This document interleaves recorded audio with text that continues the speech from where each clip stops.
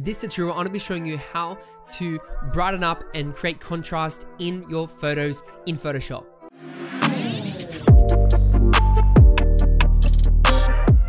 You can see that we have this nice model in the middle and she's looking out, which is really awesome.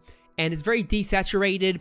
It's a very, you know, monotone sort of image, not too saturated, low contrast, not too bright, and it's sort of taken in the afternoon because you can see the sunset in the background.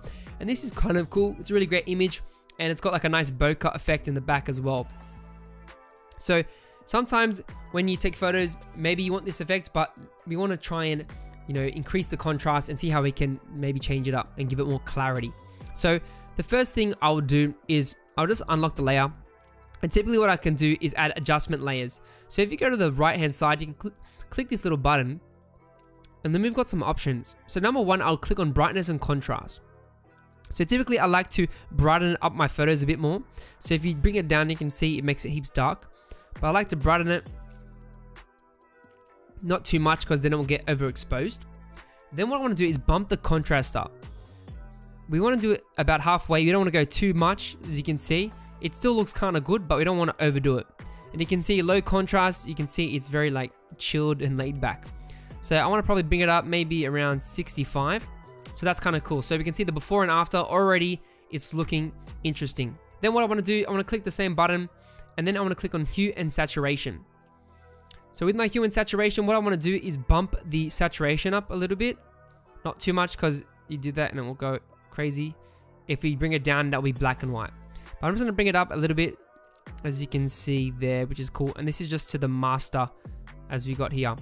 She's sort of got like this um, light lipstick here. So we can also play around if we go to the magentas and maybe bumping that up as well. You can see her lips are going to start to glow a bit more. As you can see there, kind of like that. I'm just to zoom back. So just added a bit more pink here, which is kind of cool. Makes it pop a little bit more. So beautiful. We've added a, a hue, we've added a brightness, and it's already looking amazing once I'm sort of like happy with a little bit of those edits, I'm to start to sharpen some of the images. So I want to sharpen more of her eyes and her face. So make sure my layer is selected on my female model here. I want to go to the top left and go to filter. I'm to go down to sharpen. And typically what I like to do is go to smart sharpen. This will give me more control on what areas I can actually sharpen, right? I can zoom in and I can zoom out as well. So you can see here, I can zoom in and see how much this it's going to sharpen her. So I can decrease the amount, increase the amount. You can actually click custom if you have a preset. But for me, I don't want to go too much, but I just want to, you know, play around. So maybe play around 100%. The radius will increase the grain of it. So you can see if you do it too much, it goes like crazy. So make sure you don't go too hard with that. But I'm also paying attention to here, but also looking at the image as well. So I think like 5 pixels is cool. And the noise is the, the fine dots, as you can see, like all these little fine dots. This like sort of blurs it, blurs it out. But I don't mind the noise in this image, it's kind of nice. So maybe go like 20%-ish, that's fine. You can also play around with the shadows as well if you want to play around with that, but I'm gonna leave that. And then I'm gonna press OK. And this will just overall sharpen everything. We can also add some more vibrance to it. So I like clicking vibrance and just gonna bump that up so you can see overall it'll, it'll give like that more bit more color on the edges there which is kind of nice and then for finally I'll add some photo filters so typically what you can do is you can have these filters so I can scroll down here and you can play around to get sort of a vibe sort of a, a mood and it adds like a little nice touch We've got violet, magenta, red, blue. There's heaps of different ones. I, sound, I kind of like this cool one I had before. Was it the red one? Yeah, I like the red.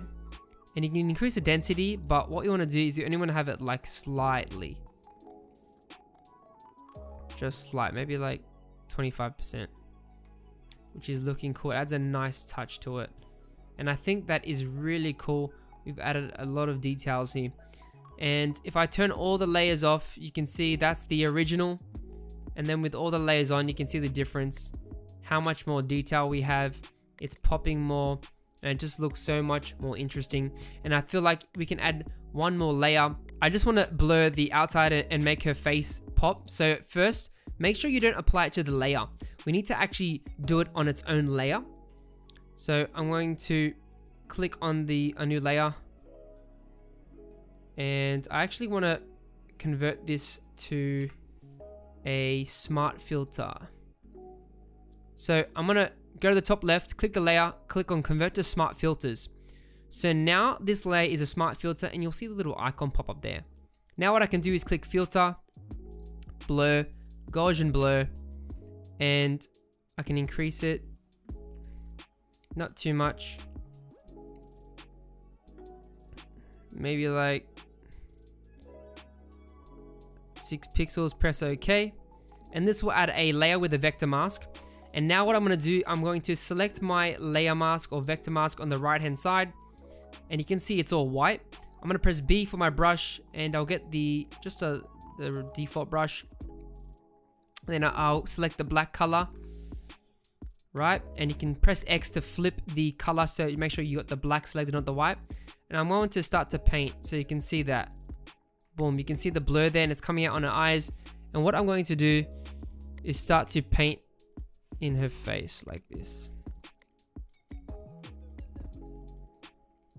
So I'm just left clicking slowly, lightly.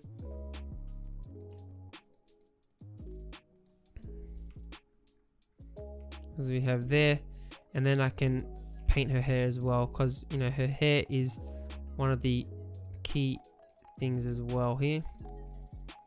And it's okay if some of the hair at the back is a bit blurred, that's cool.